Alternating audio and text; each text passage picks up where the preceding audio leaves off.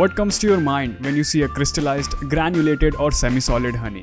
There's a good chance that you might dismiss it as fake or adulterated honey due to the popular myth that pure honey doesn't crystallize, but the reality is far from it. Contrary to the popular myth, crystallization of honey is a natural phenomenon. Natural honey, after extraction from comb, tends to crystallize sooner or later the speed of crystallization depends on the source of flower from which honeybees collect nectar. For example, if honeybees collect nectar majorly from mustard flower, the honey is likely to crystallize faster, where acacia and jamun flower honey take several months or longer to crystallize. Crystallization is a process by which natural honey preserves itself and will not rot for ages. In fact, honey which was found in Egyptian pyramids was suitable for human consumption even after 3000 long years. And yes, that honey was in crystallized form. The irony is that in India, even the educated class of consumers live with this myth. They perceive crystallized honey as fake and adulterated, in spite of clear instructions on the honey label.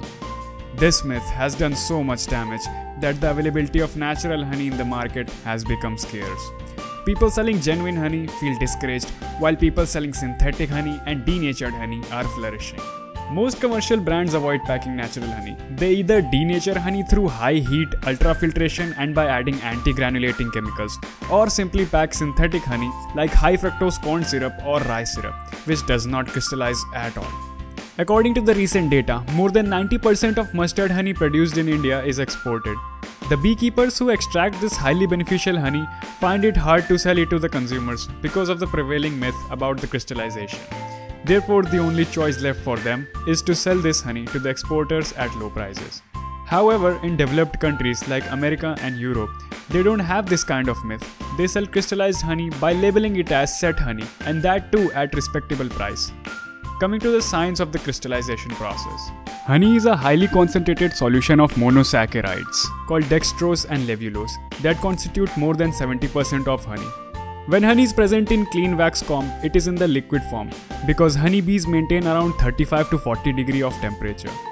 Once the honey is extracted from the comb, the dextrose which is less soluble tries to separate from the solution and form an anhydrous crystal which is pale or white in color. The speed of this separation or crystallization process depends on four factors. The major one is the source of the flower, as each flower has a different ratio of dextrose and levulose in their nectar. If the quantity of dextrose is more, honey is likely to crystallize much faster. If it is less, then the crystallization process may take several months or longer.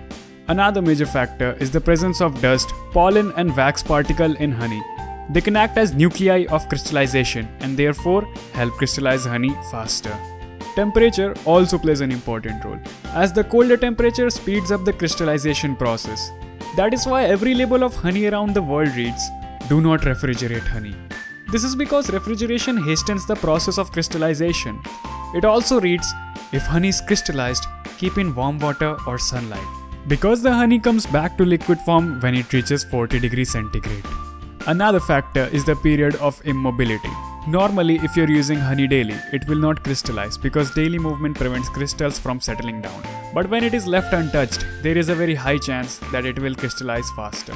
The speed of crystallization affects the texture of crystallized honey. If the process of crystallization is faster, then there will be many tiny crystals resulting in a smooth texture. If the process is slower, then the crystals will be larger and fewer resulting in grainy texture. The good thing is that any kind of crystallized honey can be converted into liquid honey by immersing it in hot water or keeping it in sunlight. However, care should be taken not to heat beyond 45 degrees otherwise honey will start losing its nutritional value. So next time you come across the crystallized honey, never perceive it as fake or adulterated. Instead, educate people about it. We believe that people will start getting genuine honey once they come out of this evil myth.